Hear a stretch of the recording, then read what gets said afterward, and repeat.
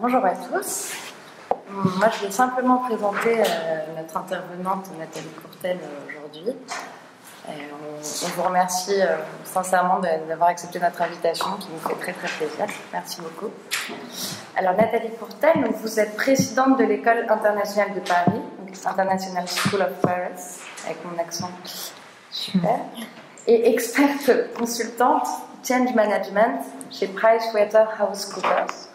Votre travail à l'ISP porte sur l'innovation dans l'éducation, la préparation pour les défis et les responsabilités socio-environnementales, et vos recherches s'intéressent au rôle de la compassion et de l'esthétique dans le développement durable des organisations, notamment à partir de, l'utilisation des, cinq sens dans les milieux organisationnels.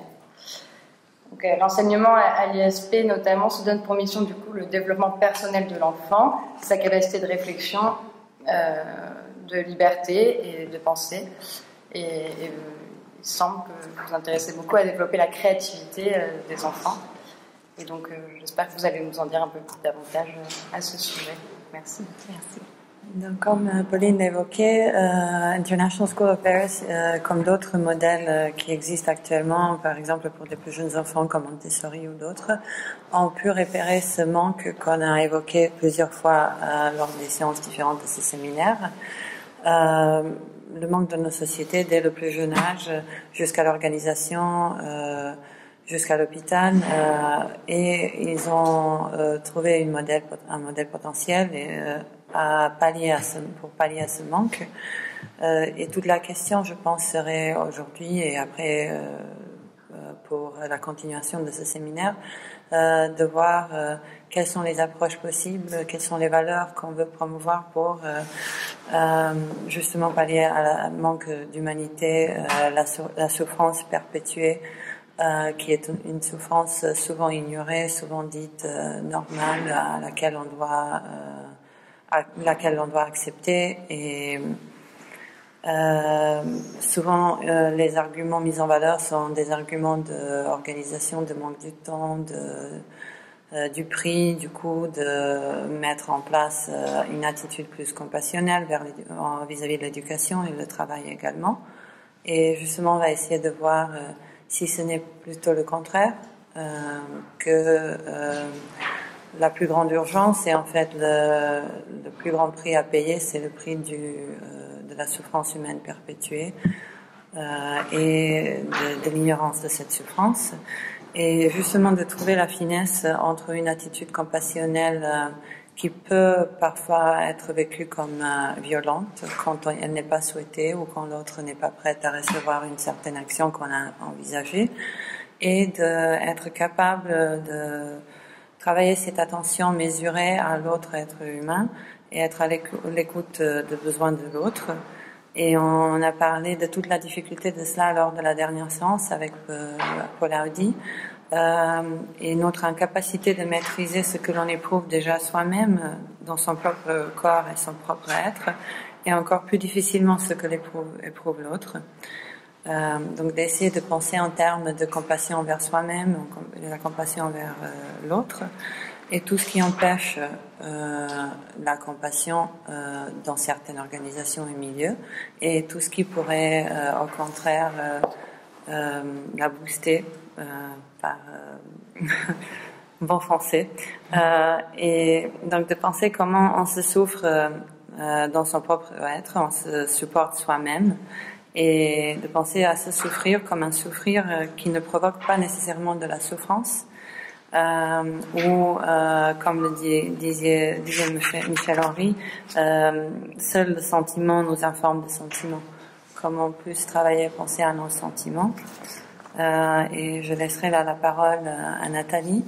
Euh, qui euh, va essayer de répondre à les questions si on peut, si on veut organiser la compassion, ou comment on met en valeur euh, euh, ces sentiments dans le milieu institutionnel, comment on les institutionnalise. Merci. Merci Zona. Euh, c'est en tout cas, je vous félicite pour votre projet parce que je dois dire que plus j'en apprends, plus c'est inspirant et vraiment une bonne chose. Donc merci à vous de euh, d'organiser ça et à tous les autres qui sont qui sont dans votre projet. Donc bravo. Merci. oui, c'est vrai. Donc alors, je, ne suis, je suis aussi présidente de l'École internationale de Paris, comme tu as mentionné. Euh, j'ai eu plusieurs casquettes et carrières, si on veut. Euh, et à l'heure actuelle, euh, je suis ce qui est. Alors, les anglo-saxons sont fantastiques parce que je suis un mature student, ça veut dire que je suis un étudiant, étudiante mûre, qui en gros est politiquement correct pour dire je suis une personne plus âgée dans la classe. Mais euh, cela veut dire que je suis revenue aux études avec une intention beaucoup plus claire peut-être que les deux premières fois. Donc moi aussi, je suis en train de faire mon doctorat au Canada pour faire simple, parce que c'est trop facile si c'était sur place.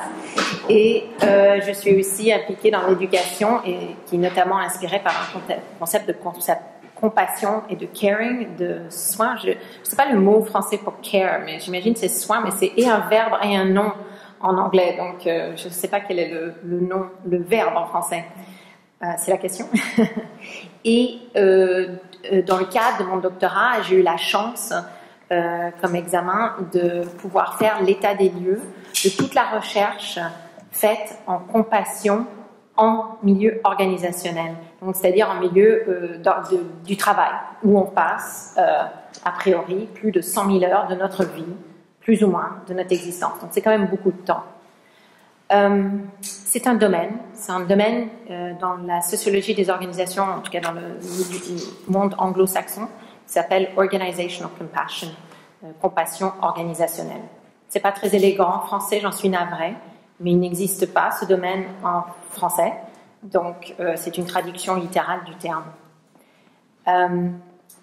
Peter Frost est un chercheur en organisation. Euh, s'il était en France, il enseignerait en sociologie des organisations.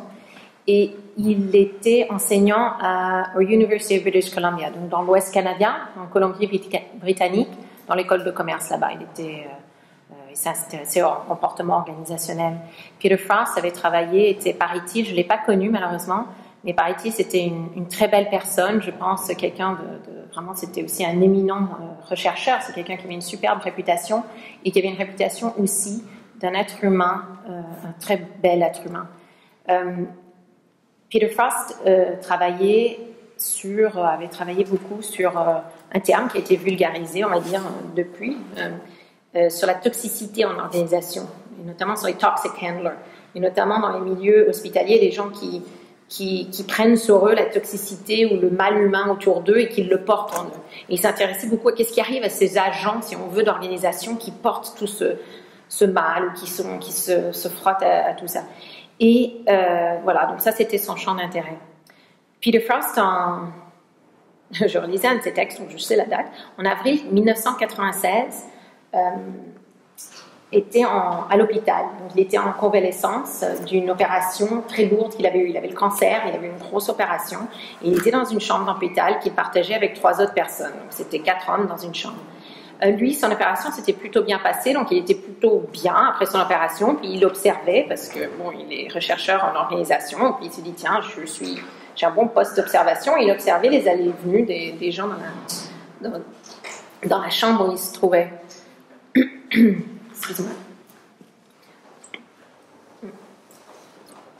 Un matin, euh, quelqu'un avec qui partageait la, chambre, c'était un homme, on va dire, d'à peu près 70 ans, donc une personne un peu plus âgée, euh, qui avait lui une super lourde opération. On lui avait retiré, euh, avait fait une opération à l'œsophage et on lui avait retiré l'estomac. Donc c'est très lourd, ça veut dire qu'il se nourrissait dorénavant avec une poche. il avait une poche externe et il avait quand même beaucoup de frustration et de mal à s'ajuster à. C'était tout frais, à cette nouvelle existence. Euh, il avait aussi beaucoup de problèmes de digestion. C'était compliqué. Et pour ceux qui l'ont vécu ou qui l'ont observé de près, je ne sais pas s'il y a certains d'entre vous qui travaillent dans les milieux hospitaliers, mais voilà. Il observe, donc ce, patient se lève, se dirige vers la salle de bain, et malheureusement n'arrive pas à la salle de bain. Il se souille. Cette personne est complètement humiliée. Il voit cet être humain complètement se défaire devant lui. Il le voit revenir il voit l'infirmière qui arrive tout de suite, qui avait fini son chiffre, qui arrive, et l'autre qui reprend. Il a observé l'infirmière euh, déjà s'occuper très efficacement de lui, et aussi très... Euh, il a estimé qu'il a témoigné, au dire de Peter Frost, hein, c'est ce qu'il dit, j'ai témoigné de quelqu'un qui a sauvé la vie d'un autre. C'était un sauvage, euh, sauvetage de vie véritable. Et qu'à ce moment-là, la vie de cette personne a été transformée. Quand il a pu parler ensuite à ce patient-là, il lui a dit, tu sais, Peter, je pensais que mon dernier jour était arrivé. Je pensais que la vie sortait de moi et que c'était mon dernier heure et j'ai vu ma, vie passer devant moi. C'est le dire. Alors pourquoi je vous raconte cette histoire et pourquoi Peter Frost l'a racontée C'est que il est, à ce moment-là, euh, il s'est posé la question, Peter Frost, en tant que théoricien des organisations, est-ce que ce type de phénomène où une personne arrive à soulager la douleur d'un autre dans ce qu'il estimait être un geste compassionnel, ce geste de tendresse que les infirmières et infirmières ont eu pour cet homme, de s'approcher de lui, d'être très efficace, mais de s'assurer qu'il soit très suivi, de, lui, de tendre la main, de le toucher? Est-ce que ce genre de choses arrive en organisation? Je rappelle, moi, je, travaillais sur la compassion en milieu d'organisation. Et c'était la question qui se posait. Il se trouve que, euh, pas longtemps après, dans, euh, alors dans, mon domaine, on a des publications super importantes. Il y en a une qui s'appelle Journal of Management Inquiry. Et le Journal of Management Inquiry, l'éditeur a demandé à des éminents chercheurs dire qu'est-ce qui fait de la bonne recherche? Pourquoi vous faites ce que vous faites? Qu'est-ce qui fait que la recherche est bonne? Qu'est-ce qui compte dans la recherche? Et Peter Frost a répondu euh, dans ce, ce, cette publication Why compassion counts? Point d'exclamation. Pourquoi la compassion compte alors, je dis point d'exclamation et je le dis toujours quand je raconte cette histoire parce que, je sais pas, dans, mon domaine, les points d'exclamation dans les titres, il n'y en a pas. Ok, on, ne s'étale pas sur l'émotion et le point d'exclamation. Peter Frost avait une intention très claire dans son message. C'était que la compassion compte dans notre recherche. Et nous, chercheurs, assurons-nous d'amener la compassion dans notre recherche. Non seulement nous en tant qu'êtres humains, mais aussi dans les sujets sur lesquels on se penche. Donc penchons-nous sur la compassion. Ce que j'ai observé à l'hôpital est en dire long sur ce qui se passe dans les organisations? Donc il a lancé un appel aux chercheurs, s'il vous plaît, intéressez-vous, ou s'il vous plaît, non. Il faut s'intéresser à la compassion. Donc c'était, c'est pas comme si la compassion est nouveau. Vous êtes philosophe, c'est pas comme si c'est quelque chose d'aujourd'hui, c'est quelque chose depuis toujours. Euh, c'est timeless. Euh, j'ai dû le chercher dans le dictionnaire. Timeless, c'est, c'est sans, c'est pas timeless. mon premier mot en anglais. Je, vais vous dire, je vais vous demander un peu de compassion de votre part parce que j'ai jamais parlé de ce sujet en français. Donc, si, euh, voyais, soyez indulgents. Je, je, demande euh, à chaque séance pour la même euh, compassion. Donc, donc j'ai déjà fait ce sujet, mais pas en français. mais mais, mais c'est un bel exercice. Et malgré mon accent, je suis francophone. Mais pas ça, c'est une autre histoire, on pourra y revenir. Donc il lance cet appel à euh, penchez-vous sur la compassion. Recherchons la compassion, recherchons comment elle s'organise en entreprise. Est-ce que ça existe? On passe tout notre temps au travail. Il doit bien y avoir de la compassion parce que je sais en tant que chercheur, il y a de la douleur. J'observe le monde de, l'organisation et toute la douleur et la souffrance qui existe dans le milieu d'organisation euh, depuis longtemps. Donc j'estime que ceci doit se passer aussi. Donc il lance cet appel. Bonne nouvelle, l'appel a été entendu. Et c'est organisé depuis, euh, est devenu un, domaine, un champ d'études à part entière, donc Organizational Compassion, qui s'organise, si ça vous intéresse, autour de ce qu'on appelle des Compassion Labs, donc des, centres de recherche en compassion organisationnelle au sein d'universités. Alors, à vrai dire, c'est aux États-Unis. Donc, euh, c'est pas, pas qu'ils pourraient pas exister ici. J'ai absolument aucune opinion là-dessus, je ne sais pas, mais ils existent à l'heure actuelle aux États-Unis. Donc, ce sont les universités, notamment de Stanford. Stanford existe aussi leur, recherche de leur laboratoire, s'appelle CCARE, Care, Compassion, Altruism, Research and Education. Euh, et c'est au sein de leur école de médecine. C'était de voir le lien entre la compassion et c'est un neurochirurgien, donc les, effets neurologiques sur la plasticité du cerveau. C'est-à-dire que le cerveau est, est, quand même énormément malléable, comme vous savez sûrement bien mieux que moi. Et euh, de, ce sont eux, par exemple, qui ont fait, je vous avez peut-être vu cette, euh, je ne sais pas ce que vous en pensez, mais ils avaient mis, c'était euh, en gros le The Brain on Compassion. Donc c'était de prendre le, des, IRM de, de, cerveau de Buddhist monks, de, de prêtres bouddhistes, de moines bouddhistes, euh, donc l'être compassionnel par excellence, et de regarder, d'observer leur cerveau, l'IRM du cerveau, de voir qu'est-ce qui est différent chez eux. Donc ce sont eux qui ont, qui ont fait par exemple cette recherche-là et de voir qu'il y a des certaines zones qui étaient activées, euh, qui, plus ou moins, qui étaient plus que dans euh, d'autres cerveaux. C'était des études comparatives. le laboratoire est donc dirigé par, a été fondé par James Doty, D-O-T-Y, car, comme est souvent l'histoire, lui-même avait bénéficié de, de compassion et il estime que ça a changé sa vie. Il était parti d'un milieu, si on veut, alors peut-être cette histoire vous intéresse pas, mais je m'intéresse toujours à la genèse du pourquoi. Comment, comment est-ce que quelque chose arrive? Parce qu'il y, a des raisons et ça me fascine, donc je vous partage ça. Peut-être ça vous ennuie à mort, j'en suis navrée. Mais voilà, donc James Doty avait lui venait d'un milieu mais excessivement pauvre, très violent. Son avenir n'était pas d'être euh, chef de neurosciences à Stanford. On peut bien imaginer, en général, ce, ce cheminement-là n'est pas induit dès le départ. Et il a trouvé quelqu'un sur son chemin qui l'a guidé sur un chemin de, compassion, de bienveillance et aussi euh, lui a enseigné la méditation. Et euh, il a toujours voulu redonner donc ce cadeau à la société en général, incluant en vulgarisant certaines de ses recherches et la rendant accessible au plus largement possible, et aussi en, continuant la recherche, lui étant neurologue, se disant, OK, qu'est-ce que, qu'est-ce que l'on sait scientifiquement? Comment est-ce qu'on peut démontrer que la compassion est une bonne chose? Alors, je pense qu'on n'a pas besoin d'une photo de notre cerveau pour savoir que c'est une bonne chose. Euh, un peu, parce qu'on le sait. Mais il voulait euh, continuer la recherche là-dessus. Donc, il a réussi à, mettre ce centre de recherche au sein de l'école de médecine de Stanford. Il y a aussi euh, à Berkeley un centre de Greater Science Good. Il y en a euh, une autre personne, Peter Frost, l'homme dont je vous ai parlé, qui a vraiment lancé le mouvement, a travaillé beaucoup avec une femme qui s'appelle Jane Dutton, qui est, elle, à l'Université du Michigan, à Ross Business School.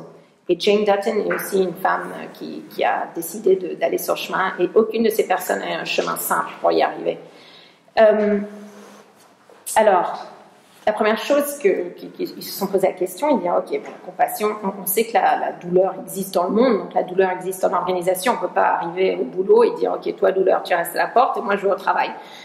Ah, ça pourrait être utile et on le fait, je pense. des fois, on, on le fait. Hein, on se dit bon, je pense pas au fait qu'un tel est malade. mais bon, le fait est qu'on amène quand même avec nous notre douleur. Et ils euh, se sont penchés sur comment, tout ça s'organise, ces réactions à l'autre qui souffre euh, à côté de moi ou que je sais au sein de l'organisation laquelle je travaille, il y a des gens qui souffrent du pourquoi et comment je peux aider ou non. Donc ils se sont posés ces questions-là. Et aussi, euh, parce que, évidemment, c'est quand même des, des, chercheurs en, organisation, ben, on, a l'obligation un peu de faire des modèles, un peu comme les économistes, il faut faire des modèles et, donner une définition un peu modélisée, dire il y a douleur, euh, donc leur définition est, assez structurée. Pour l'instant, c'est très nouveau, hein. ils viennent de proposer ce schéma en 2014. Euh, il y a la douleur, mais bon, c'est rien d'extraordinaire, hein. je veux dire 1 plus 1 égale 2, donc je, veux dire, je, je conçois que c'est très simpliste, mais il y a la douleur en organisation, et la douleur ne vient pas que de, si on utilise l'exemple de soi, de nous en souffrance qui arrivons au boulot et qui, traînons le mal.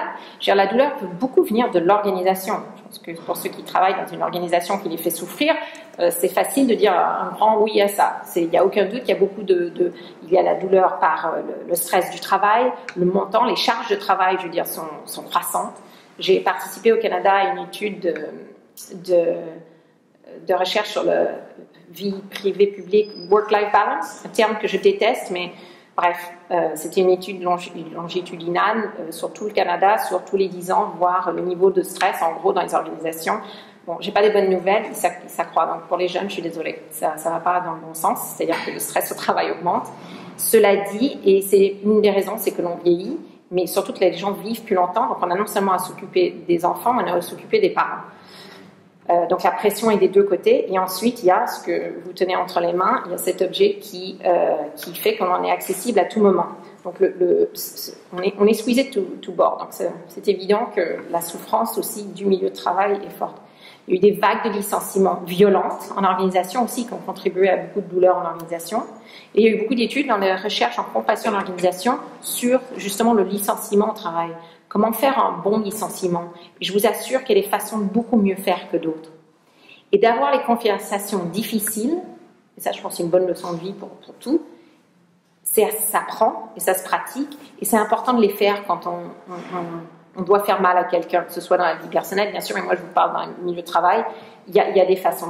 D'apprendre à dire à quelqu'un des choses difficiles, c'est important, parce que pas de les dire, il, remarquait que la, souffrance était exponentielle dans les organisations qui ont, les gens étaient licenciés un peu, bon ben, désolé, tu pars, si t'as pas ton chèque, euh, adieu. Euh, donc il y a beaucoup aussi de recherches en organisation et en compassion des organisations sur ce sujet-là, qui est évidemment un, sujet euh, d'actualité. Euh, la souffrance aussi, euh, et aussi, mais je vous dis c'était assez déprimant cette partie-là, la violence physique en organisation, donc le physical violence, est, est, ahurissant. C'est un des milieux où il y a le plus de violence, où les gens, en gros, le, nombre de meurtres et d'attaques au travail est très élevé. Alors, ce sont des statistiques et des données américaines, j'en suis navrée. Donc, euh, j'ai quelques statistiques euh, européennes. Euh, mais cela dit, je pense que la violence au travail n'est pas à, renier ou à, négliger. Et enfin, la, douleur aussi, des fois, vient en organisation, c'est-à-dire que les gens peuvent souffrir au sein de, de leur travail par des choses qui se passent à l'extérieur du travail. Je pense qu'on peut bien imaginer, par exemple, à Houston, qui est sous l'eau, c'est-à-dire que les bureaux sont fermés. C'est un peu compliqué et difficile pour les gens qui doivent aller au travail. Euh, Jane Dutton, dont je vous ai, que j'ai mentionné tout à l'heure, avait écrit en 2000, euh, après les attentats du 11 septembre. Donc certains d'entre vous peut-être se rappellent, mais tout le monde sait ce qu'est le 11 septembre aux États-Unis. Donc les attentats du 11 euh, septembre. Euh, a été un choc énorme en, pour le monde, mais pour, pour l'Amérique du Nord, notamment par exemple à New Yorkais. Et, excusez-moi.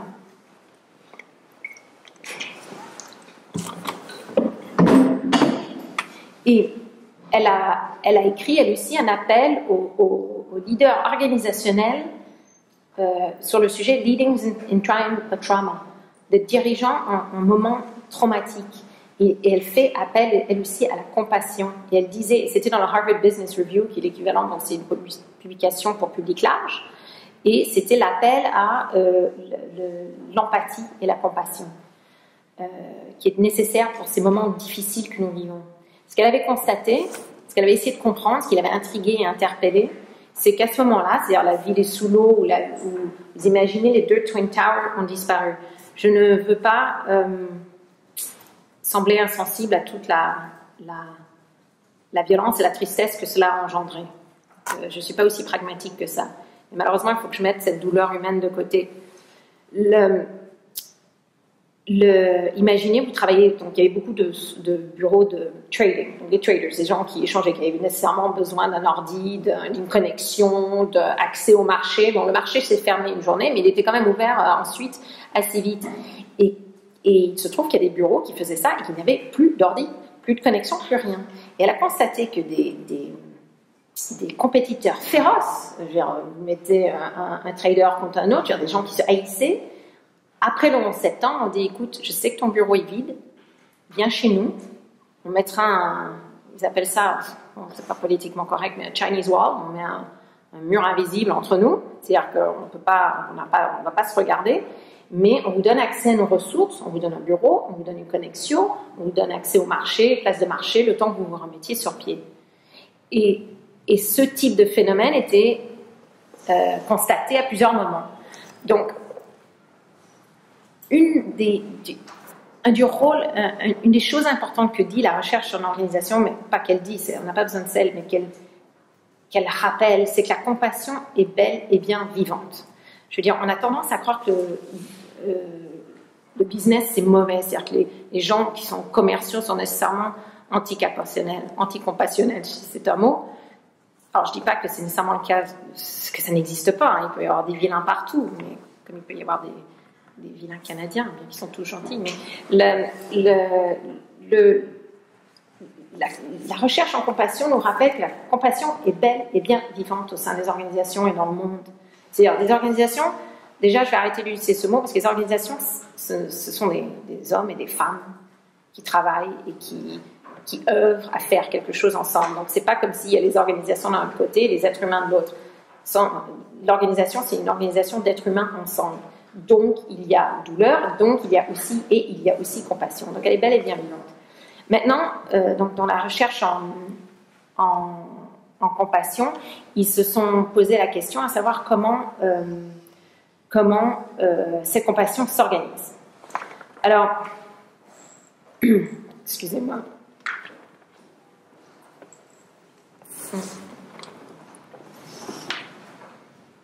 Alors, ils ont constaté, ils ont demandé aux gens, essentiellement, il y a deux façons.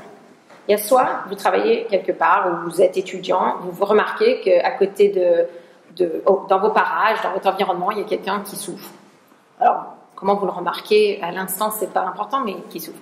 Et vous faites, vous agissez donc à un niveau individuel. Je constate la douleur d'autrui et je fais quelque chose pour essayer euh, d'aider, si on veut, porter cette personne soit par exemple des exemples qu'ils ont constatés au fil des entretiens, c'est de prendre leur charge de travail, d'organiser. Euh, dans des cas, c'était une femme par exemple euh, subissait de la chimiothérapie, ils savaient qu'elle avait un enfant, donc ils organisaient de s'occuper de cet enfant, par exemple de l'aider avec euh, la charge haute. Donc ça n'a rien à voir avec son travail, mais ils savaient que ça allait l'aider dans son travail, dans sa vie, on s'en fout du travail.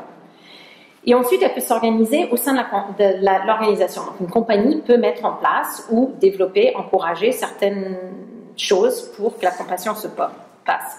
Euh, d'une part, euh, on constate que la compassion est plus grande avec des valeurs partagées qui, sont en ligne avec la compassion, avec des croyances partagées, des normes, c'est-à-dire quelle est la norme, quelle est la façon habituelle euh, à, laquelle on s'attend à ce que les gens fassent les choses. Si c'est en étant indifférent à l'autre, ben, ça se perpétue. Donc, mais par contre, si c'est en faisant attention à l'autre, ça se perpétue aussi. Le comportement, comportement humain est contagieux je fais une pause. Euh, Norbert Alter, j'ai une référence française, et il a écrit un livre qui s'appelle Donner et prendre. Il parle du don contre don. Et son, son je, l'appelle l'expérience du métro, mais lui, il l'appelle pas comme ça. Mais il dit en gros, vous prenez le métro, vous sortez, vous tenez la porte à la personne derrière vous, elle va, elle va déjà accélérer le rythme pour arriver plus vite, et 9 fois sur 10, elle va tenir la porte pour la personne après. Donc on connaît tous que la compassion aussi, ben, c'est pas de la compassion, mais le geste le geste aimable et contagieux. Euh, et enfin, euh, donc il y a aussi la, structure euh, des gens. Ils constatent aussi que dans une organisation où le network, le, réseau est fort, c'est-à-dire juste pas le réseau, je ne parle pas de réseau social ni autre chose, mais où les gens, le lien entre les gens, les connexions, ces, ces, points de connexion sont forts, on constate que la compassion est plus forte aussi. Parce qu'il y a beaucoup d'études aussi en réseau c'est-à-dire le, lien entre différentes personnes. Voilà. Maintenant, donc, euh, j'ai combien de minutes? Tu fini Non Largement temps. Alors, tout ça, pourquoi est-ce que ces chercheurs font tout ça? Ce sont des bonnes personnes qui ont décidé de prendre des, risques quand même professionnels, pour être honnête, parce qu'académiquement, ce n'était pas gagné. J'ai parlé à Jane Dutton, j'ai eu le plaisir de, une fois la croiser à une conférence, et elle, gentiment m'a invité à manger, et elle, elle, me parlait de son, son parcours. Et euh, bon, c'était pas du tout sa destinée d'être chercheur en compassion. C'est quelque chose qui était important pour elle. Elle aussi, comme, comme tout le monde, euh, motivée par une expérience à elle personnelle très difficile. Euh, et par contre, mais c'était un pari, mais qu'elle a décidé de prendre et qu'elle vit bien. clairement, ça se trouve bien. Donc, je dirais à ta question, qu'est-ce qui peut aider un chercheur? Je dis prendre des paris sur soi, ses croyances profondes, ce qui, ce qui nous anime. Euh, et euh, le fait, parce qu'elle croit que la compassion, compassion is a good thing. Compassion is good, on est d'accord. Je veux dire, il faudrait vraiment que je, je, je sais pas, vous allez me raser les cheveux si je dis autre chose, mais parce que ça serait mauvais. Et, aussi pour encourager, c'est-à-dire de dire, je pense qu'elle voit tellement aussi, on, sait qu'il y, a du non compassionnel dans les organisations. Donc leur intention, c'est d'encourager, démontrer au monde du business, du commerce, que la compassion est rentable aussi. C'est-à-dire qu'il y, a en fait, on arrive à même mettre, euh, il y a un coût, il y a un coût à la souffrance. Euh, maintenant, c'est tout à fait, c'est voir, voir maintenant, c'est une question de santé publique. C'est-à-dire que la, non-compassion est un enjeu de santé publique que, l'on essaie de faire venir en, enjeu de santé publique, car le coût de la souffrance en organisation est exponentiel. On estime, une fois de plus, je suis désolée, ça a été statistique assez semblable en France, on estime qu'à tout moment, dans toute organisation, au boulot, où vous soyez, ou à l'école, ou sur les bancs, à tout moment, il y a au moins une personne sur cinq qui vit un deuil. Et on sait tous que le deuil est une des choses les plus difficiles à vivre, de perdre un être cher. Ou, la maladie d'autrui. C'est normal qu'on reconnaisse tous quelqu'un qui. qui oh, donc, une personne, c'est une moyenne. Hein. donc, il peut y en avoir 10 dans un cours et puis il peut en avoir 4 dans l'autre. Et puis ensuite, ça dépend de l'âge, parce qu'il y a des âges aussi où, depuis on se rapproche du moment de notre deuil, ben, il y a de plus en plus de copains qui aussi passent. Mais bon. Euh, donc, il y a un coût mais il y a un coût à ne rien faire. Donc le manque de compassion a un coût direct. Et je pense que c'est la motivation principale de d'où la vulgarisation. Parce que pour que les gens qui sont dans les positions de décision, qui puissent agir pour changer les choses dans les milieux de travail, eh ben, il faut arriver aux gens qui prennent ces décisions. Donc on peut tous être convaincus, mais si ça n'arrive pas aux bonnes oreilles, ce n'est pas futile, bien sûr mais c'est peut-être pas aussi utile que ça pourrait l'être. Donc je suis tout pour, une fois de plus, la vulgarisation de, euh, de, la recherche. Euh, la, compassion, euh, des arguments donc, qui sont donnés, notamment un des arguments les plus puissants, si on veut, pour les, gens qui dirigent les entreprises ou les ressources humaines ou quoi que ce soit, c'est il y a définitivement un lien, une corrélation scientifiquement démontrée entre l'acte de compassion ou de bénéficier de la compassion et surtout d'observer la compassion. C'est-à-dire que d'être bénéficiaire de compassion ou de constater qu'autrui bénéficie de, compassion au travail a quasiment le même effet. Donc c'est genre, euh, c'est exponentiel. Et ça, non seulement ça, et ça affecte, euh, alors euh, j'ai dû chercher le mot, affective commitment, l'engagement affectif. Euh, au travail. C'est-à-dire combien les gens sont attachés à leur travail, sont, s'identifient et s'impliquent dans leur travail. Donc l'acte de, d'aider autrui affecte directement les autres, non seulement évidemment l'employé, mais tous les autres. Donc ça a vraiment un effet exponentiel. Et pourquoi c'est important pour les, les décideurs ouais, décideur aussi avec un E, en organisation, c'est que euh, c'est un grand sujet à l'heure actuelle. On constate dans les organisations qu'il est très difficile de. La, ça a toujours été un enjeu, la rétention des, gens. C'est-à-dire que l'objectif, quand on embauche quelqu'un, c'est pas surtout s'ils sont bons, c'est qu'ils restent. Et euh, de savoir que l'on peut agir sur la fidélité de son employé, c'est énorme parce que ce levier-là, il se perd. Il est de plus en plus la fidélisation des employés, puis aussi de l'employeur par rapport à l'employé. Hein, ça va dans les deux sens.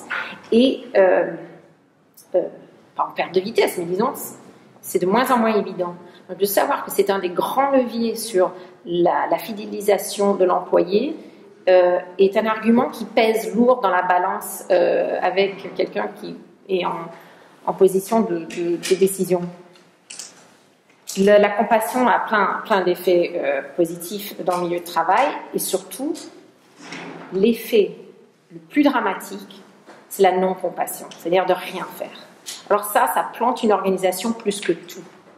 Par exemple, euh, une des choses, c'est une fois de plus le deuil. De ne pas reconnaître le deuil, que quelqu'un est en souffrance, par exemple, de deuil, le deuil non reconnu, disenfranchised grieved, il y a un mot en anglais pour ça, en français peut-être aussi, mais de ne pas reconnaître le deuil que vit quelqu'un et exponentiellement aussi euh, de, voir que cette souffrance n'a pas été adressée euh, ou a été adressée d'une façon très cléricale, très numérique, c'est-à-dire, ok, tu as perdu ton mari, ça c'est mari, c'est quatre jours de congé, ton enfant c'est cinq jours, euh, ta meilleure amie c'est zéro. Donc c'est en plus l'approche. Donc en plus d'organiser la compassion, parce que c'est une forme d'organisation, c'est-à-dire d'avoir une politique euh, de, pour, pour, ces congés. Et ils appellent ça les congés euh, compassionate leave quand, c'est pour le deuil. En français, je ne sais pas si ça s'appelle comme ça, mais en anglais, le terme c'est compassionate leave. Donc c'est euh, qu'est-ce que ce à quoi vous avez le droit pour par geste compassionnel. En plus, ça porte le nom, mais ça ne porte pas toujours l'intention. Euh, ce qu'on remarque, c'est que c'est plutôt en général le N plus 1. C'est-à-dire que le, truc le plus efficace, c'est quand, quel que soit le niveau de l'organisation, c'est votre boss qui euh, peut répondre à la demande ou qui peut agir, euh, qui, a l'autorité déjà pour, dire écoute, prends, le temps qu'il faut, euh, reviens quand tu peux, sois avec ta famille maintenant. je pense que là, il vaut mieux que Et je viens de me rappeler, oh mon Dieu, j'ai un petit moment émotionnel quand je suis arrivée en France en 2000. Euh, ah, ça m'arrive pas souvent ça. Euh, mon père est décédé. J'étais en France parce qu'il allait, il est français, et il est mort six semaines après que je sois arrivée ici. Et il était dans le sud de la France, bien qu'il soit breton, il s'est fait violence et il est allé dans le sud de la France car il faisait plus chaud. Pour un breton, c'est très difficile. Et il est mort six semaines après. Je me rappelle être revenue au travail et c'était le plus beau cadeau que, je venais d'arriver, vous imaginez. je venais d'arriver au boulot, je venais de transférer en plus. Il m'avait muté à Paris pour que je participe à plein de trucs. Puis six semaines après, je suis d'une inutilité, mais extraordinaire. Déjà que j'avais du mal, je comprenais rien. Mais là, c'était catastrophique. Et mon boss à l'époque m'a dit, écoute Nathalie, tu ne connaissais pas, j'ai pas d'historique avec lui. Écoute, prends le temps qu'il faut. Tu vis quelque chose de pas simple. C'est pas grave, viens quand tu peux. Client, je m'en occupe. Je suis comme, oups. Et franchement, c'était, j'ai aucune idée de ce qu'il a fait, j'ai aucune idée comment ça s'est passé, tout ça est tout un flou, mais c'était euh, le geste que seul lui pouvait faire. C'était pas, il n'y avait pas une notice euh, genre paragraphe de B, deuil, employé, da. C'était lui qui répondait, et ce sont les gestes les plus efficaces. Maintenant, cela dit, donc je suis bénéficiaire donc de cette compassion, euh, de ce, qu'on appelle compassion en organisation, parce que je, ne suis pas sûre que je crois que c'est ça la compassion. Mais euh, est-ce qu'il y en a certains d'entre vous qui travaillent dans le milieu euh, genre nursing ou euh, médical ou hospitalier? Parce que oui, parce que beaucoup de, de la recherche en compassion en organisation vient de, nursing. De, nursing, c'est un beau mot en français, je ne sais pas comment on appelle la recherche en infirmerie. Ça, c'est pas le même sens. Mais bref, des infirmiers, le métier d'infirmier et d'infirmière, car le compassion, c'est quand même au centre du cœur de métier.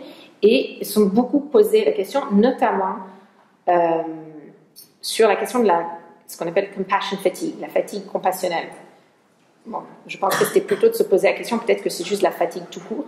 C'est-à-dire que vu ce métier de plus en plus euh, difficile et d'énormément de contraintes, c'est peut-être, c'est pas la fatigue de donner peut-être, c'est peut-être la fatigue d'avoir trop à faire. Et de pouvoir donner, il faut avoir peut-être le temps, et qu'il y a moins en moins de temps. Mais donc il y a beaucoup de recherches aussi là-dessus. Mais donc, mais que la compassion, il y a aussi euh, le don de soi est aussi parfois euh, une considération. C'est-à-dire que la compassion, de vivre un métier compassionnel ou d'un être compassionnel n'est pas toujours simple. Et je pense aussi, moi, qu'il y a euh, un, comment dire, il y a un énorme lien ou un frein. Enfin, ok, moi j'ai une expérience à l'hôpital aussi, pas avec mon père, avec un de mes enfants. Donc, un de mes enfants était, euh, il va super bien maintenant. Donc, je vous raconte une histoire, mais dites-vous qu'il va super bien. Il est ado dans toute sa gloire. Mais il, euh, était à l'hôpital l'année dernière. Il était à l'hôpital Necker. Il a eu d'excellents soins. Il a passé quelques mois là-bas et moi avec lui. Et euh, donc, il était, on était souvent aux urgences, puis on était aussi, il était hospitalisé. Donc, il dormait là et, et je dormais avec lui. Et il y a des gens, que des gens fantastiques. Je te dis, waouh! c'est une vocation, tous ces métiers, je, suis en admiration. Et il y avait notamment aussi beaucoup de bénévoles qui viennent, qui viennent, je ne sais pas si vous avez déjà été qui viennent lire aux enfants, jouer avec les enfants, etc. Alors, mon enfant était plus vieux que la norme. Il n'y a pas beaucoup de préados euh, à Necker, parce que les maladies euh, n'arrivent pas en général à cet âge-là, où on n'est plus à Necker, on est ailleurs. Et euh, il y avait notamment un, groupe admirable de personnes qui venaient, qui faisaient des spectacles, etc. Et quelqu'un est rentré, a fait un spectacle, je connais mon enfant et je savais qu'il était mal à l'aise. C'était pas quelque chose qui était approprié pour son âge. Il a, plus, il a plus 5 ans, il avait 11 ans, 12 ans. Et euh, par contre, quand on lui a demandé comment tu as trouvé ça, il dit oh ben c'était bien. Oui, parce qu'est-ce qu'il va dire d'autre? Tout ça pour dire que c'est à ce moment-là, je me penchais beaucoup sur la compassion, etc. Je me rendais compte que c'est pas si simple. C'est-à-dire que même si on demande à quelqu'un si tu as aimé quelque chose si c'est bon geste, avoir le bon geste. Et c'est une relation de pouvoir. parce que l'adulte demandait à l'enfant, qu'en penses-tu Il n'a pas osé questionner. Et les relations de pouvoir et la compassion sont un grand sujet. Et qui, qui en compassion des organisations, on va dire, est très... Euh, c'est difficile hein, de dire une chose pareille, que la compassion, c'est, c'est pas toujours bon. Voilà. Mais les, on sait, par exemple, que euh, les, les, études démontrent que euh, comment on appelle ça euh, Le statut socio-économique de quelqu'un, plus il est bas, plus l'empathie grande. la capacité d'empathie est grande et la capacité d'empathie correcte, c'est-à-dire l'interprétation de l'émotion de l'autre est plus grande. Et le phénomène inverse, plus la catégorie sociale économique est élevée, moins la capacité d'empathie est grande et moins l'acuité, l'acuité empathique est grande. Donc il y a un phénomène. Alors, qui, en général, en position de pouvoir, ce sont les gens du milieu socio-économique supérieur, donc d'une empathie plus basse, et par conséquent, on sait tous que l'empathie est nécessaire à la compassion. Donc, une étude aussi a été euh, menée pour essayer de démontrer le lien entre le. le ben, c'est pas exactement ce qui a été fait, mais en gros, c'était pour dire que euh, les relations de pouvoir, c'est-à-dire que la personne qui a les moyens de, on va dire, je simplifie une fois de plus, donner plus de compassion, eh ben, c'est celle qui a le moins d'empathie et la moins d'acuité empathique. Donc c'est dommage quand même. Euh, d'autre part, les personnes en général, niveau socio-économique euh, supérieur ou en position de pouvoir organisationnel supérieur, sont moins amenées à montrer leurs émotions et par conséquent à ressentir les émotions des autres. Donc ça devient encore compliqué. Les relations de pouvoir sont toujours présentes dans, dans cette dynamique compassionnelle en organisation. Euh, et, par conséquent, les programmes, si on veut l'institutionnalisation de la compassion en organisation, n'est pas nécessairement en train de promouvoir ce que l'on voudrait qu'il soit promu en organisation pour euh, que la compassion puisse exister. Mais surtout, et je conclurai là-dessus, euh, à la question est-ce que l'on peut organiser la compassion? Je pense qu'on ne peut pas organiser la compassion. Je pense que la compassion, c'est humain. On ne peut pas forcer la compassion, on ne peut pas euh, organiser la compassion. Par contre, on peut ouvrir et créer l'espace pour la compassion, c'est-à-dire pour que deux choses, c'est pas seulement que les gens puissent agir et aider l'autre, déjà que ce soit acceptable, parce que si les autres vous regardent et disent oh là là, c'est encore le, je sais pas comment on appelle ça, celui qui, le trop sensible qui va aider l'autre, c'est bon. Je veux dire, ça aussi, ça joue, donc il faut cet espace pour que d'aider l'autre, ce soit bien vu, récompensé, etc. Mais aussi, c'est de pouvoir euh, exprimer sa douleur, parce qu'exprimer la douleur, c'est pas très simple, on n'a pas envie nécessairement que l'espace le permette. Alors, on ne peut pas organiser nécessairement la compassion, mais on peut certainement aussi euh, apprendre. Moi, je suis donc au sein d'une école aussi, présidente de l'école internationale de Paris, une des valeurs centrales, c'est le système d'éducation du bac international. Et, dans ce euh, système d'éducation, une des valeurs centrales, c'est le caring. C'est l'empathie et la compassion. On n'enseigne pas la compassion, on enseigne, on enseigne déjà ce que c'est la souffrance, on enseigne quels sont les cues, ces indices, et on enseigne comment peut-être les, voir et les entendre, parce que, et aussi comment les exprimer, parce qu'on a un peu de mal aussi d'apprendre même les enfants à exprimer, bien que bon, faire beaucoup de bruit, à exprimer leur douleur. C'est pas toujours simple dans des mots qui peuvent être avenants pour que les autres puissent avoir envie de les aider. Je pense que l'écoute est un don que l'on a perdu. Pas perdu, je sais pas si on l'avait, je sais pas si je l'ai, mais l'écoute véritable. Je pense que ça, c'est un sujet par contre où le, milieu de la médecine, et en tout cas, parle beaucoup. Je sais pas s'il l'applique tout le temps, mais on parle beaucoup. D'écouter profondément. Pas écouter ce que je pense que j'ai envie d'entendre, mais d'écouter ce que, ce que la personne est en train d'essayer de me dire, son vrai souhait.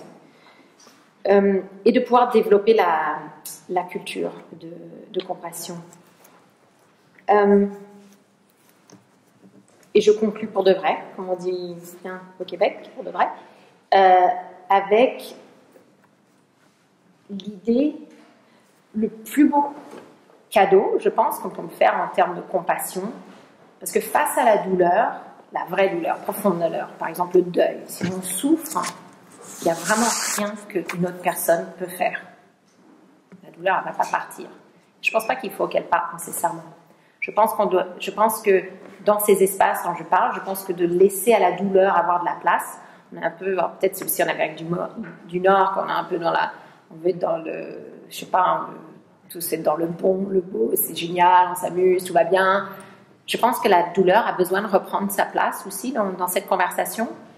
Et je pense que euh, la, et, c'est mon cheminement, parce que de retourner à la, définition originelle de la compassion qui est de souffrir avec et, ou de sentir avec. Je pense que le plus beau don, c'est pas évident en organisation, c'est de pouvoir juste s'arrêter et être.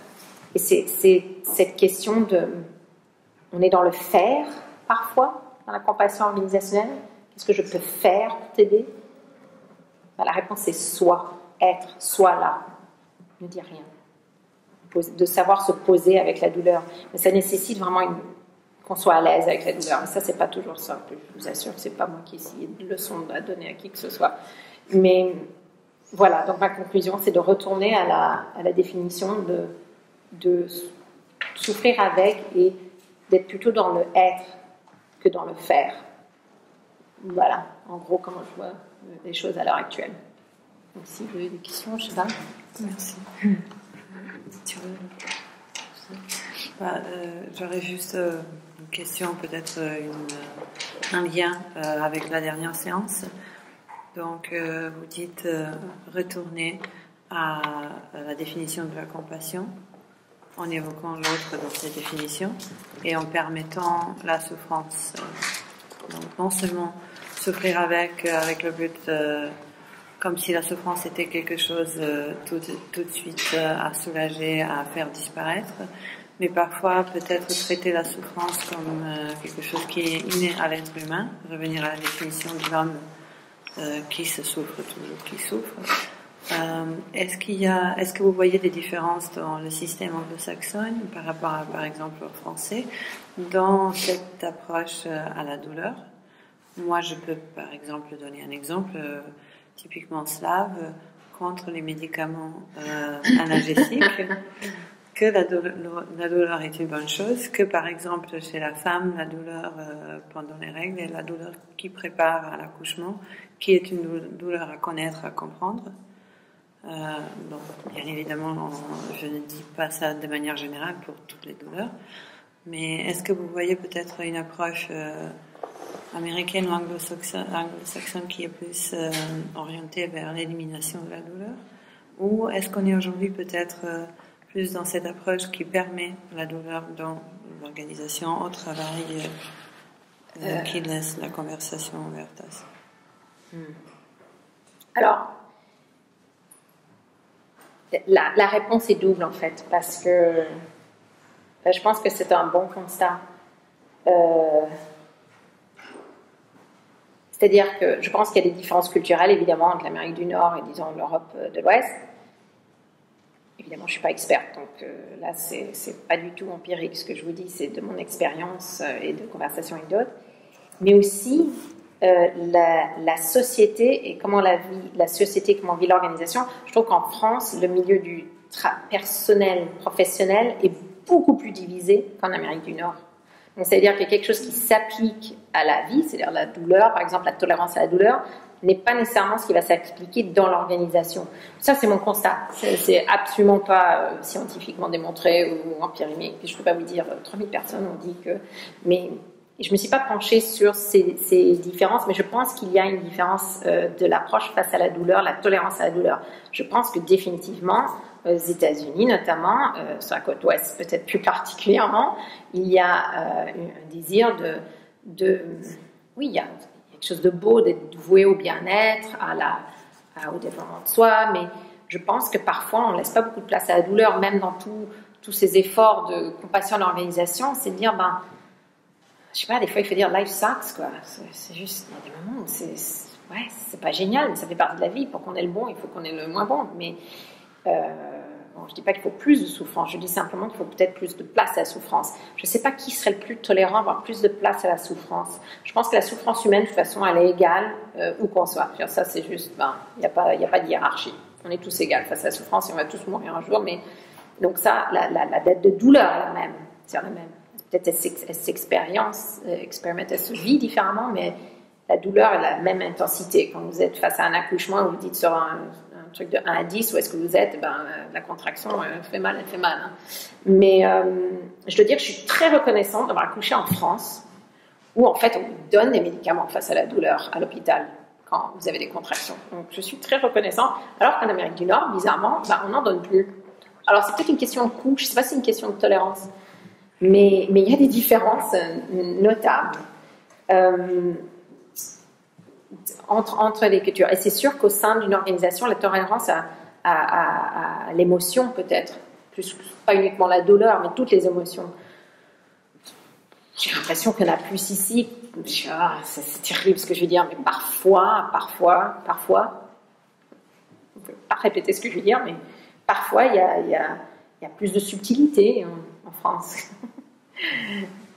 Et donc c'est sûr qu'il y a alors, mais, pas que, c'est pas vrai, parce qu'on peut tout être aussi subtil en du Nord, c'est ridicule, mais si je dois généraliser, stéréotyper, peut-être, donc peut-être qu'on tolère plus la douleur, mais peut-être qu'il y a plus de place pour la douleur. Cela dit, je pense qu'il n'y a pas assez de place, en tout cas en Amérique du Nord, bien que ça fait longtemps que je suis ici, c'est dommage. Je pense qu'on rate quelque chose à ne pas laisser un peu plus de place à la douleur. Pas plus de douleur, place à la douleur. Pas plus de douleur pour tout le monde. Non, il y en a bien assez dans le monde, on n'a pas besoin d'en créer. Cela dit, on peut laisser la place à la douleur et je pense qu'elle sera moins douloureuse si on, la laisse exister. Et je pense qu'elle est aussi, attends, je pense qu'on a, je sais pas, j'étais en train de relire, euh, je sais pas, le poète Keats, euh, poète anglais Keats, une vie mais dramatique. Hein. J'ai perdu son mère, son père, il a vécu, je suis, il est mort à 25 ans en plus, je ne sais même pas. Il n'a écrit que 40 volets de poésie, Keats. Pourtant, on connaît tous Keats, je pense, non? Euh, Et, et on, voit beaucoup d'œuvres qui, qui, émanent. Il y, a, une force. Alors, je dis pas qu'il faut de la. On a eu cette discussion, et il faut que je fasse attention, mais il y a une force génératrice aussi dans, cette émotion-là de, la souffrance. Il y a comme dans la joie, dans l'émerveillement, comme dans le, le, sublime, je veux dire, nous, nous inspire. Il y a aussi quelque chose qui nous inspire qui est vrai et authentique dans la souffrance, parce qu'on sait que ça nous connecte à tout le monde. Tout le monde sait ce qu'est souffrir. Donc, on a, cette connexion humaine. Je trouve ça assez merveilleux. Je trouve que la souffrance nous, nous rapproche, pas seulement parce qu'on se met ensemble pour aider l'autre, ça c'est déjà extraordinaire, je trouve que c'est bien, mais aussi c'est une expérience, shared common experience, c'est une, expérience à nous tous. Hein. Euh... Pourtant, je sais, enfin, c'est ce que comme un produit social. C'est-à-dire que quand on est dans une classe de, de la domination, mm. on en a moins besoin parce qu'on a d'autres euh, bénéfices ailleurs, peut-être? Euh, ce que je pense, c'est aussi on se protège. C'est-à-dire il y a une forme de protection et euh, d'aliénation. Euh, de dire, oui, de dire qu'il y a moins de. qu'il y a la même douleur, oui, elle sera vécue ou elle sera gérée autrement. Mais si euh, quelqu'un peut. Alors je ne connais pas tout à fait exactement le mécanisme, comment il s'opère. Il y, y, a différentes théories là-dessus et je pourrais en parler longtemps, mais le je pense que si la personne pouvait lâcher euh, l'emprise de sa, de, sa position de pouvoir, la douleur est, la même. C'est ça que je veux dire. L'être humain euh, peut souffrir autant, mais ne se laissera pas autant affecter par l'autre. D'avoir de l'argent, d'avoir une place sociale, peut-être que ça crée moins de douleur, ça ne nécessite pas un mm. besoin de compassion. Mm. Oui, bien sûr. Non, non, mais c'est tout à fait légitime comme provocation.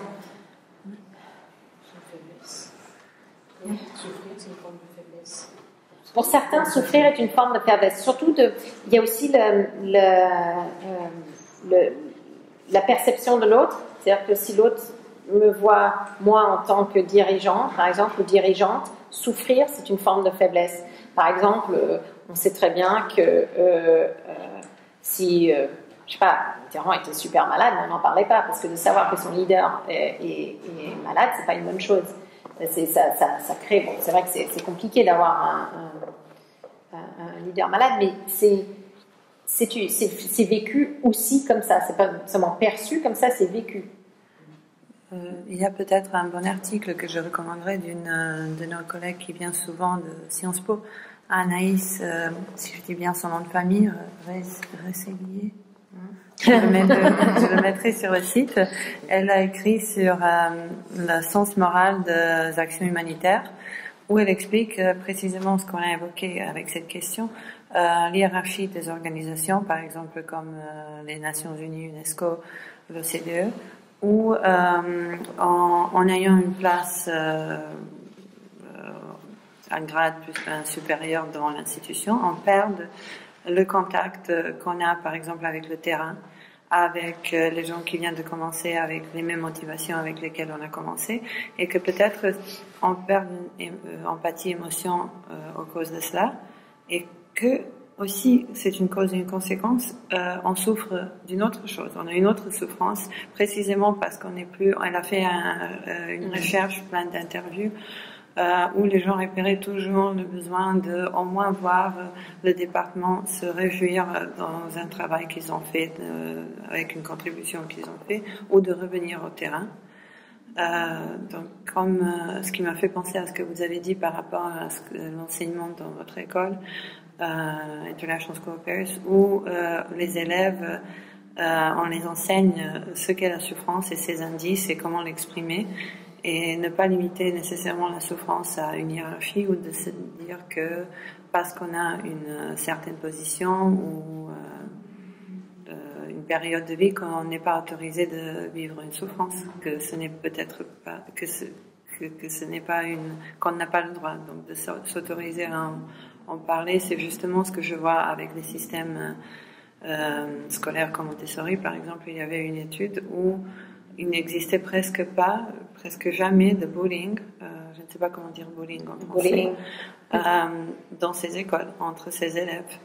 Euh, et que malheureusement c'est très fréquent dans d'autres systèmes scolaires ou peut-être justement ce que vous avez dit, reconnaître que on souffre tous, on a tous des moments de faiblesse, on se sent tous mal dans un système, dans une institution, euh, euh, laisser la place à, cette communication, à ce dialogue, à ce dialogue, ce qui, permet de l'éviter à tous les échelles, je pense.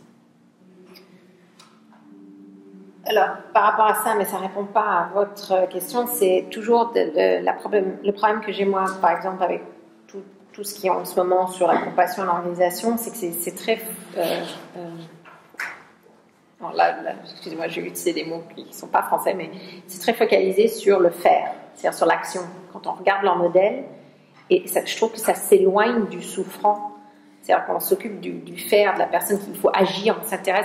Alors c'est noble, hein, je veux dire, il faut du faire, il faut la place au faire et aider l'autre et, et s'aider soi, aider ses compétiteurs, aider les gens sous l'eau, sous l'eau, etc.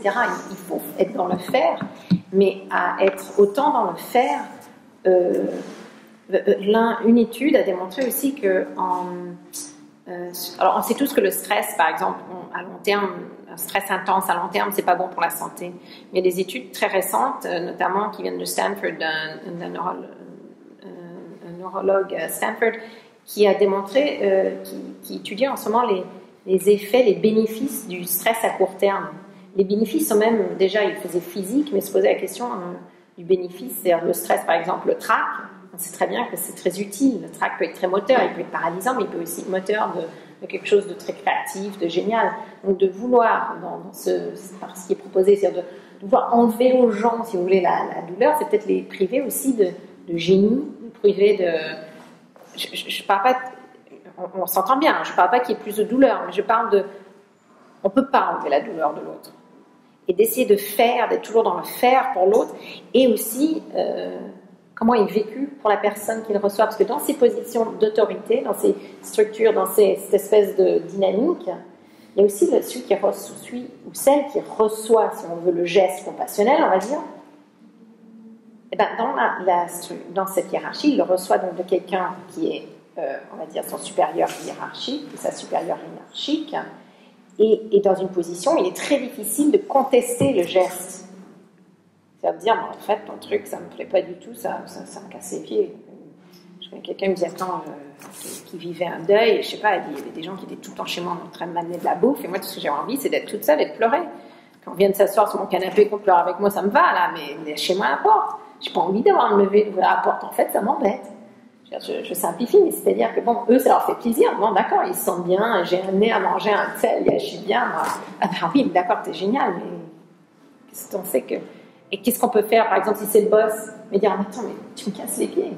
Non, c'est plus difficile quand il y a ce, c'est et même si c'est son collègue, et même, c'est des relations, mais surtout, si la relation de pouvoir est une, quand on est situation pas d'égalité, eh ben la, dynamique est tout de suite faussée. La personne, comment est-ce qu'elle peut savoir que ça n'a pas marché ou que ce n'est pas un geste utile?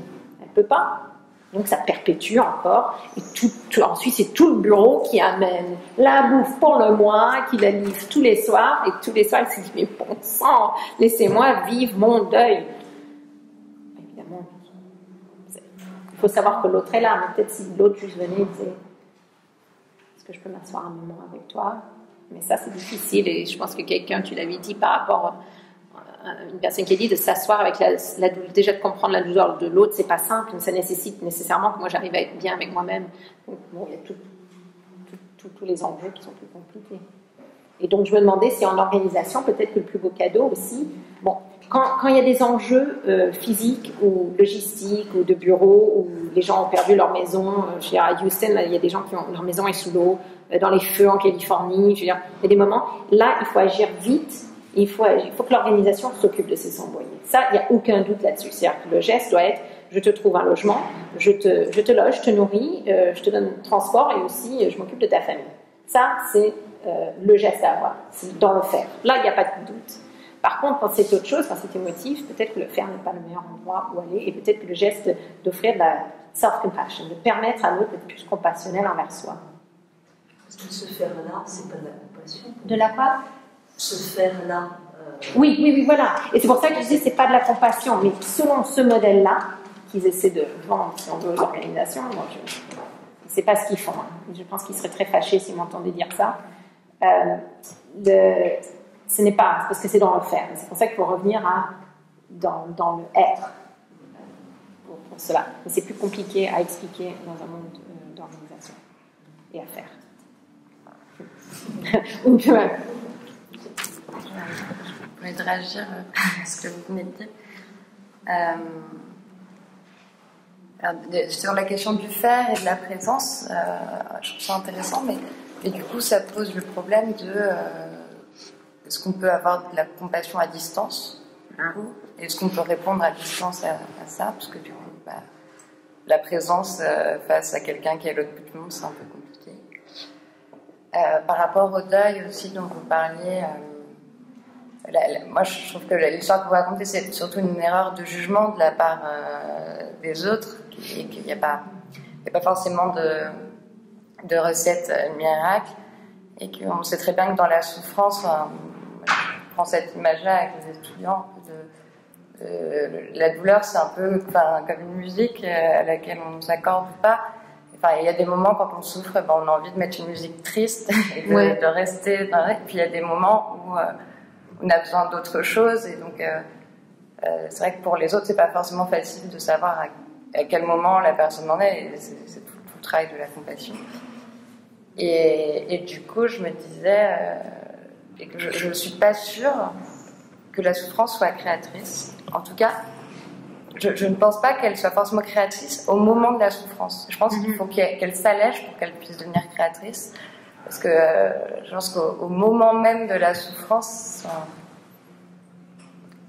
de la, du pic de souffrance, je suis pas sûre qu'on ait cette capacité de créer et qu'il faut quand même prendre un tout petit peu de distance avec elle pour pouvoir être dans la création. je, dis juste un. Ouais, non, je pense que les choses n'arrivent jamais instantanément avec une autre. C'est comme le change. Je veux dire, euh, absolument. Je pense que je serais plutôt d'accord avec ça. C'est-à-dire qu'il y a un moment, les deux moments ne peuvent pas exister au même moment. Mm. Il y a des choses qu'on ne peut pas faire en même temps. Peut-être la question est de savoir est-ce que de déjà de se laisser aller à ce pic, c'est-à-dire qu'il y a des gens qui résistent la souffrance, ne laissent aucun pic, peut-être se privent aussi d'une émotion. je ne dis pas qu'il faut aller euh, droit dans le mur et être suicidaire, mais de, on se prive peut-être d'une émotion qui peut générer autre chose. C'est-à-dire c'est l'expérience humaine. Donc est-ce qu'on se prive je me parle un peu à moi-même, car j'ai eu tendance, pendant beaucoup de ma vie, à m'assurer de ne pas aller dans certaines zones.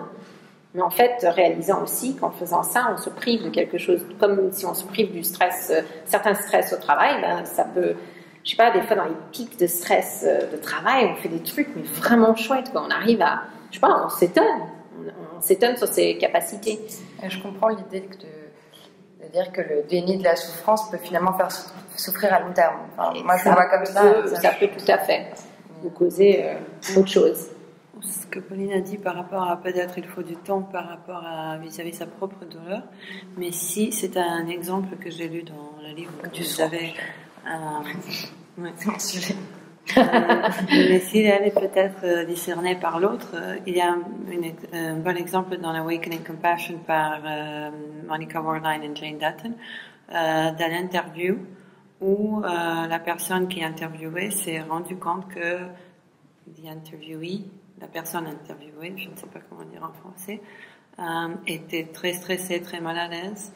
Et au lieu de continuer dans ces cadres, vous avez dit phrase contester le geste ou le cadre de quelque chose, au lieu de continuer dans ce cadre d'interview très formel et très hiérarchique, cette personne a raconté une blague, a dit ok on fait une pause, et la personne a commencé à rire euh, et tout de suite continue, euh, elle a pu continuer l'interview euh, en montrant toutes ses capacités qu'elle n'était pas du tout capable d'en parler, de vivre. Donc peut-être si elle est repérée par l'autre, elle peut être tout de suite créatrice, mais euh, comme Pauline a dit, c'est nous euh, et notre souffrance tout seul, il faut du temps justement pour que ce soit créé.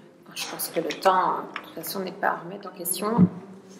Euh, tout à fait. Bah, je veux dire, je peux que être d'accord. Parce que, non, mais je veux dire, si on se- il y a des choses qui prennent du temps, les choses n'arrivent pas instantanément l'une avec l'autre. et absolument, il faut un, un certain temps. Et peut-être qu'en organisation, c'est une véritable question. Parce que le temps, c'est une chose, donc, déjà au quotidien, on en manque cruellement. Et au travail, on en manque au moins aussi cruellement. Donc, euh, il est possible que cette dimension du temps euh, devrait être abordée aussi. C'est une excellente contribution. Vous envoyez un petit mail à Jane Dutton disant Avez-vous pensé à la dimension temps? Ça me renvoie à un débat qu'on avait eu ici sur la rationalité instrumentale. C'est-à-dire que, euh, en fait, euh, à mettre en place tout le temps des protocoles, des procédures, on en vient euh, très souvent à empêcher justement le geste conventionnel. Je donne un exemple. Je suis médecin, je travaille dans un, dans où il y a de nombreuses personnes âgées. Et euh, le principal obstacle à la compassion est le temps. Parce que le temps est mesuré, protocolisé, les procédures sont telles qu'on doit consacrer que tant de temps pour s'occuper de la toilette d'une personne âgée, euh, quelle, quelle que soit sa condition, qu'elle soit malade d'Alzheimer ou euh, complètement euh, normale. Et euh, c'est très difficile euh, de déculpabiliser en fait ces personnes qui travaillent euh, auprès de- des personnes âgées. Et euh, moi je suis référent éthique pour cette structure. Euh, on a mis en place des réunions interdisciplinaires où, quel que soit le niveau hiérarchique, tout le monde est présent et entend ce que l'autre a à dire. Et le simple fait de laisser la parole et de euh, dénoncer que euh, les personnels les plus rapprochés des patients euh, sont autorisés à sortir du cadre et que c'est justement là la meilleure des choses qu'on puisse faire pour le travail, et pas seulement dans un but d'efficacité matérielle et opérationnelle pour l'entreprise, hein, parce que c'est ça aussi. hein. Eh bien, je pense que c'est là que se retrouve la vraie compassion, euh, comme don pour la personne, dans la façon d'être, plus que dans l'observation de ce qui a pu être enseigné. Tout à fait. Ouais, je ne sais pas si vous voyez exactement ce que je dis, mais euh, ça me paraît très important d'avoir ce- en, tête cette euh, façon de penser qui n'est pas tournée uniquement vers la matérialité des faits et l'organisation avec l'efficacité finale pour l'entreprise, hein, mais que c'est quelque chose qui se passe en, en dualité entre une personne qui intervient auprès d'une autre personne singulière et dans un moment donné particulier. Et c'est en effet le constat aussi des chercheurs en compassion en organisation, c'est-à-dire que euh, c'est la personne la plus proche de, soi, euh, la proximité joue énormément. Euh, ensuite, bon, il y a des complications avec la proximité. Certains temps, vous êtes peut-être dans un milieu plutôt homogène, mais dans d'autres milieux, on peut aussi, on tend à aider celui qui nous ressemble. On tend à aider, c'est, une, je dis pas vous, hein, je dis en général, et le particulier est toujours différent du général. Par contre, c'est exactement ce qu'ils observent en, compassion, en organisation, c'est exactement ce que vous faites, c'est-à-dire, c'est-à-dire il y a, parce que vous, votre, alors en termes votre client, votre patient, votre client, mais vous, dans l'organisation, il y a cette souffrance, donc, de cette pression, et justement, je demandais, c'est des gens, je pense que vous avez dit que vous travaillez aussi en milieu hospitalier, et euh, beaucoup de recherches, notamment est venue de l'Angleterre, car il y a eu une énorme crise euh, sur euh, le, care, le, care crisis. Il y avait un véritable problème, ils ont remarqué que le, niveau de soins était en perte de vitesse et que la violence face aux patients devenait extrême. Il y a eu plein d'enquêtes, etc., et de recherches à ce sujet-là. Et c'était la question de savoir comment est-ce que, entre nous, soins, s'occuper, donc il y a beaucoup, beaucoup de, recherches là-dessus, de, constats sur ce. Et, je, vous applaudis sur, sur, ce geste que vous avez envers vos, équipes. La parole aussi, la parole et l'écoute, autant pour le patient que pour son collègue, qu'il soit euh, médecin, soignant, etc. Avec cet aspect sur lequel moi je pense qu'il faut insister, c'est que ne sépare pas le soin du prendre soin, le cure et le care, que les deux se complètent et sont complètement complémentaires. Et qu'on ne peut pas véritablement donner un bon soin si on sépare l'un de l'autre. Et ma, une de mes questions euh, de recherche était euh, est-ce qu'il faut être euh, bon envers soi pour être bon envers les autres? En termes d'organisation, est-ce qu'il faut aussi être bon envers soi-même, c'est-à-dire vers nous-mêmes l'organisation, pour être bon envers autrui? Et je pense qu'il faut, il faut s'occuper, c'est-à-dire que de care, compassion, quand il y a souffrance, c'est de savoir s'occuper de tout le monde, de ne pas discriminer, je m'occupe que de moi. C'est-à-dire que mes employés, c'est dire, ok, Houston, tu souffres, mais là, je vous prends, je prends autant que je peux, pas juste mes employés, mais mes employés vont aider aussi largement. Euh, je reviens à la question de la compassion, c'est-à-dire, euh, est-ce qu'on peut compassionner, c'est un verbe? Non. est-ce qu'on peut être compassionnel ou porter compassion? Qu'est-ce qu'on fait? Compatir. Compatir.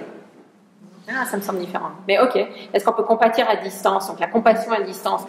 Et alors ceux qui euh, sont dans le, euh, la méditation et le, le, mindfulness euh, estiment que, que tout à fait que le bien-être que l'on peut envoyé et, dans le monde. Dans, il y a cette question, il y en a qui, œuvrent, par exemple, sur ces questions de compassion et qui estiment que la compassion peut, justement, peut rendre le monde meilleur en étant compassionnel de ce sentiment.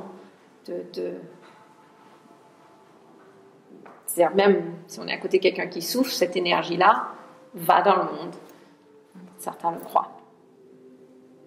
On a même les chants qui nous accompagnent. Hmm. Est-ce qu'il y a d'autres questions? Euh, Juste savoir euh, la référence de l'étude dont vous parliez tout à l'heure sur la corrélation entre euh, le statut socio-économique et les. Il faut que je la retrouve. vous pouvez me laisser vos coordonnées, je peux vous l'envoyer. Je ne l'ai pas. Euh, il y, en a, y en a plusieurs en fait. J'ai mélangé quelques études avec les, ce que je vous ai dit, parce que c'était plus c'était pas peut-être courageux de ma part, mais c'était plus simple à ce moment-là. Mais celle-là en particulier, euh, oui, je, peux vous l'envoyer si ça vous gêne pas.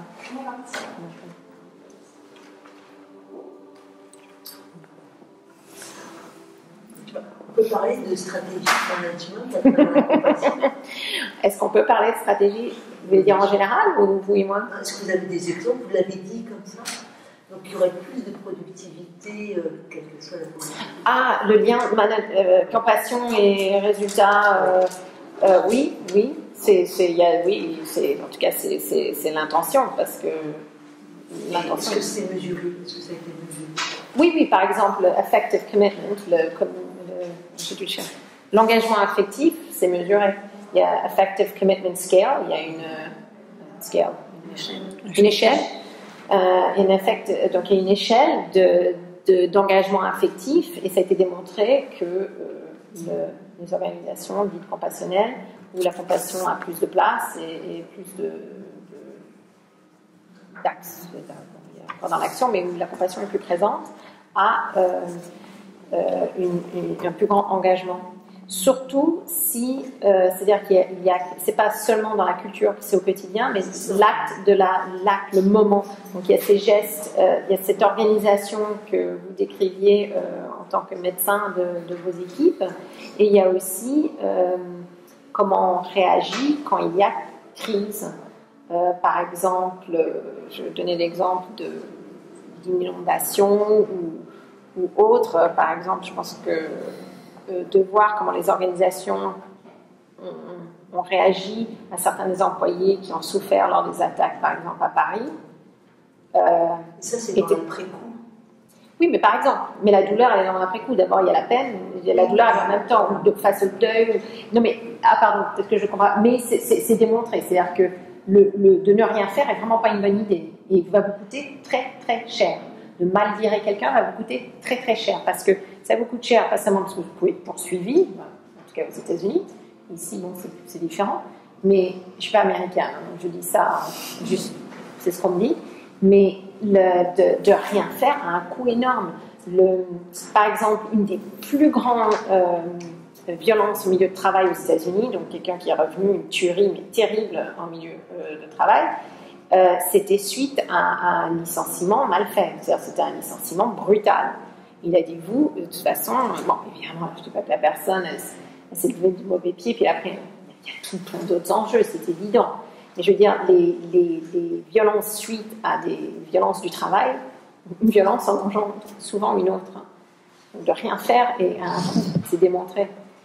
Euh, donc, et de ne pas agir face à la souffrance. Je sais qu'il y a un coût, l'absentéisme, euh, lié à, par exemple, euh, à la, souffrance. Donc ça, c'est mesuré. Un coût énormissime. C'est par milliards de- d'euros, que ce soit en Europe ou aux États-Unis, Euh, en, perte de productivité, en perte de, et ensuite en contagion de perte de productivité. Alors, je cherche pas. vous me posiez la question. Il y a- quelque chose. Alors pour le coup, vulgaire peut-être de mettre un chiffre à tout ça, mais ça parle à certaines personnes. Dans ce sens-là Ouais. Mais il y a, mais il y a des chiffres très probants et très, très parlants. Et le coût d'augmenter l'engagement affectif, le bien, le, le coût, euh, c'est énorme. Le, turnover, donc de remplacer un employé, c'est un coût mais énormissime. Ça coûte deux fois plus cher que d'employer quelqu'un et vient le faire la première fois. Donc, le, là aussi, il y a, il y a directement une, une- une validation, euh, si on veut, commerciale très claire. Le, le lien est, est vraiment basique. Et le chiffre est, est- est très, très élevé. Euh, oui. Est-ce que je peux en anglais parce que Yes. uh, I used to work in Big Four. Uh, Yeah. Yes, in KPMG. And the reasons why I gave I left the company was everything that you're talking about now. So lack of compassion, but they have uh, big turnovers, but they give you a big salary, and then mm, maybe those are the reasons why people stay in the company. Good salary, and then I, I can't believe that uh, still those companies uh, uh, hire uh, so many persons, and they're still one of the biggest audit companies in the world. But they, I think that uh, it is not a question of lack of compassion. I think that there is no compassion at all. Yeah. That's my experience. So uh, I, I'm wondering how they manage uh, to still be uh, so famous and big. I think it's a numbers guy, game. I think they can recruit enough people to churn them over. Now, what they've demonstrated is people who tried alternatives are actually very effective and way more profitable. Now, the science is still not conclusive, but it's it's, it's very much demonstrated. Alors, je- vous parlez anglais ou pas? Oui, je comprends. hein, je- Ouais. non, non, mais je me dis, attends. Donc, euh, la question, c'est comment est-ce qu'une grosse compagnie qui, en fait, embauche plein de gens, les use, les squeeze et les jette finalement, parce qu'elle dit, j'ai travaillé pour une des plus grosses boîtes, j'étais super bien payée, j'avais un super job, mais j'avais une vie horrible, j'avais pas de vie, et puis en plus, ils ne sont pas du tout compassionnels. Comment ils font pour exister? Puisque vous dites la compassion, c'est bon, alors pourquoi ils existent encore? Ils existent encore parce qu'il y a encore des gens qui veulent, ben, déjà, euh, être comme ça, qui veulent qui sont dans un modèle où ça a du sens pour eux, etc. Et euh, je pense que ben, je pense que ça change, honnêtement, j'espère en tout cas que, que, j'ai travaillé pour aussi euh, ces compagnies-là. J'ai pas eu tout à fait la même expérience, moi j'étais le côté conseil, pas audit, donc j'avais pas beaucoup plus de vie, mais peut-être un peu plus de compassion. Et, euh, et moi aussi, je suis partie et j'ai arrêté, je suis retournée aux études, donc. Euh, mais je pense que ça ne change pas nécessairement dans ces organisations-là. Euh, il y a toujours ce, ce, ce turnover très élevé, mais il y a le désir de gens, comme je vous décrivais, d'aller vers justement les chefs d'organisation là et de dire, OK, faisons autrement. Et en fait, le autrement, je vous assure, va vous rapporter au moins autant. Et euh, justement, à Stanford, j'étais à une conférence où c'était euh, organisé par Seeker pour le monde du business. Et c'était des gens du milieu d'affaires qui parlaient de leur euh, approche compassionnelle, non seulement à leurs employés, mais au, monde. Et, qu'en fait, ils étaient beaucoup plus profitable, plus. il y avait un meilleur profit. Donc, c'est-à-dire, en bout de ligne, ils avaient plus d'argent dans les poches qu'ils pouvaient aussi rendre aux employés euh, et, à la communauté euh, grâce à ça. Et parfois, on fait des choix qui n'étaient pas nécessairement les meilleurs choix euh, logiques, c'est-à-dire de rester, par exemple, dans une région où ça n'avait aucun sens qui reste. Mais ils avaient décidé de ne pas abandonner. Je pense à. Et puis, ils sont énormes. hein. Ce sont des compagnies, par exemple, quelqu'un qui est dans le genre le microprocesseur, microprocessor business, et qui ils ont décidé de ne pas abandonner une région par, par volonté, disant on ne peut pas abandonner ces gens. Si on part, ils n'ont plus de job. Toute cette région meurt. Ils ont décidé de rester. Le geste déjà a fait en sorte que les gens étaient, étaient vraiment dévoués à leur organisation et ils se sont rendus compte qu'ils ont pu être très, très, avoir un énorme profit. Euh, que, que, que cette, cette approche n'est pas du tout. Je pense qu'on a, euh, on a des préjugés, pas vous, hein, ou vous, ou- on peut avoir des préjugés, c'est-à-dire que c'est compassion ou business, il faut choisir.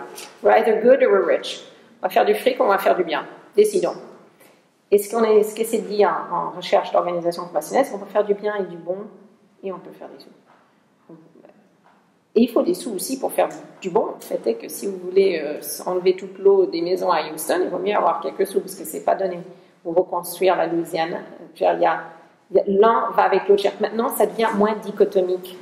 Les chefs de- d'entreprise, euh, les hommes et femmes chefs d'entreprise, malheureusement, il y a toujours beaucoup trop, pas, trop, mais le, le ratio est encore complètement inégal, mais bon, euh, fait en sorte que c'est- c'est- ils sont, plus prêts à avoir cette conversation. Le monde change, en tout cas, de ce que je vois.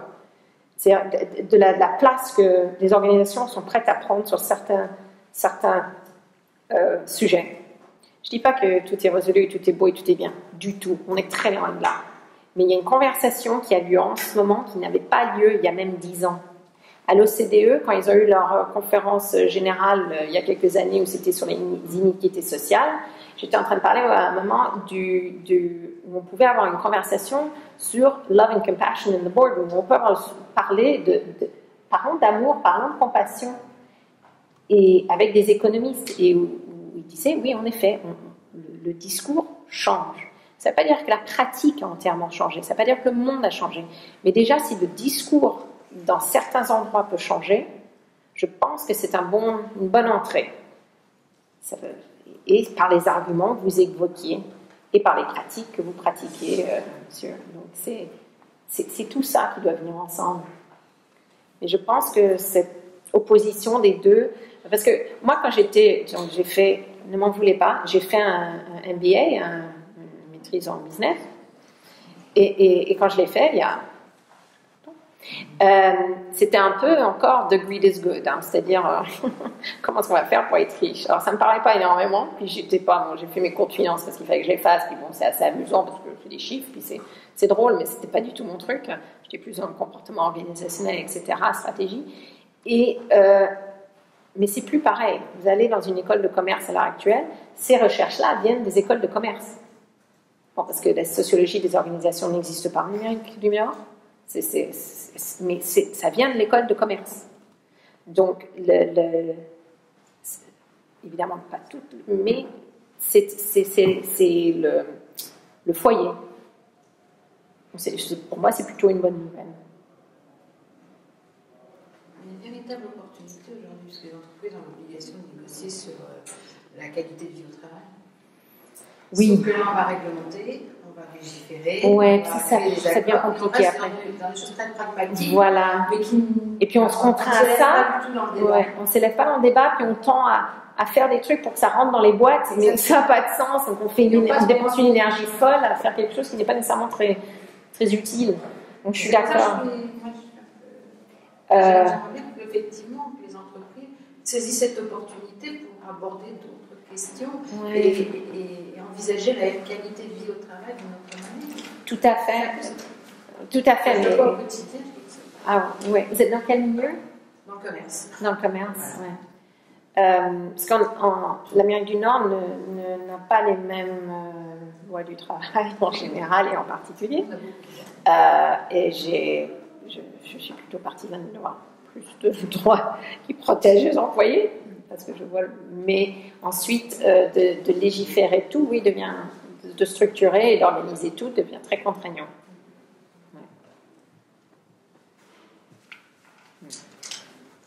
Bon, bah, merci beaucoup. Et juste un petit rappel, le jeudi prochain, c'est le philosophe Jérôme Poiret sur la phénoménologie de la maladie. Euh, le même créneau horaire, le même endroit. Merci beaucoup d'être venu.